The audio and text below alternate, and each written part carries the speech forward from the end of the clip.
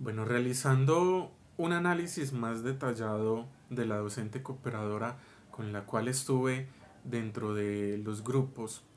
puedo decir algo y puedo rememorar un texto de la profesora Clara Grisales, La Escuela con Enfoque Territorial,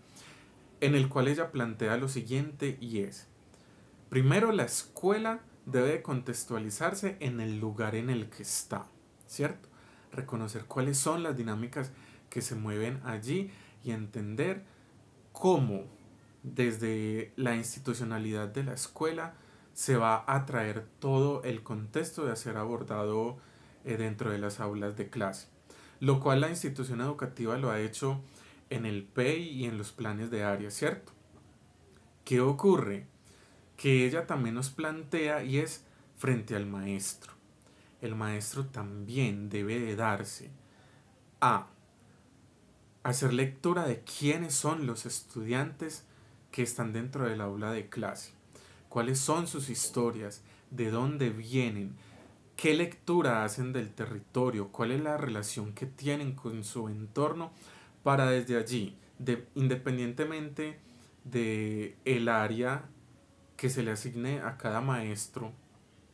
también pueda hacer lo mismo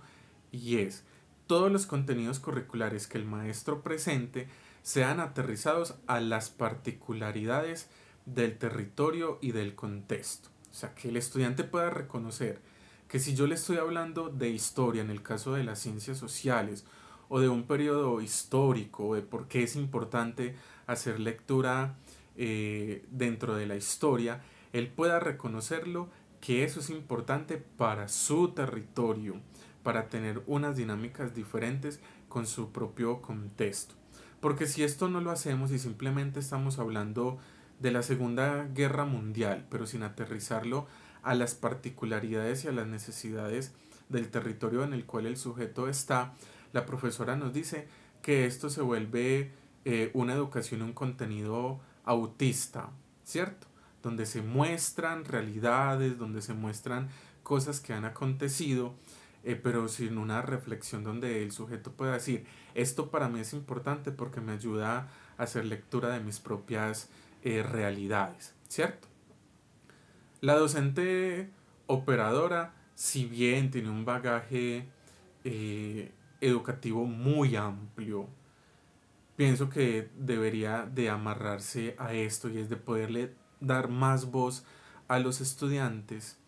y poder esos contenidos que ha tratado de democracia, de política, de convivencia, aterrizarlos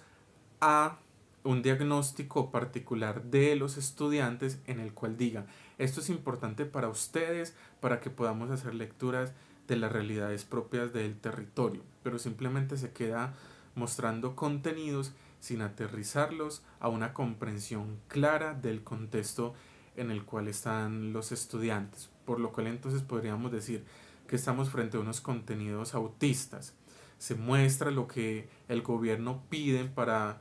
los grados sexto y séptimo que, se aborden, pero sin un aterrizaje claro a las particularidades y al contexto eh, de los estudiantes.